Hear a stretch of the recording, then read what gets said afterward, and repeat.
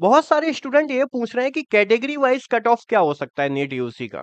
देखो, सभी स्टेट का वेरी करेगा कट ऑफ़ लेकिन मैं आपको एक बात बता दूँ कि अपने अगर ऑल इंडिया रैंक की बात की जाए तो कैटेगरी वाइज कट ऑफ़ क्या होगा? यहाँ पे मैं जनरल का कट ऑफ़ बताऊँ आपको और ओबीसी, एससी और एसटी, इनका कट ऑफ़ बताता हूँ। देखो कट ऑफ़ वेरी करेगा। पेपर के अकॉर्डिंग अगर बताऊँ कि जनरल का जो कट ऑफ़ रहेगा वो 620 प्लस।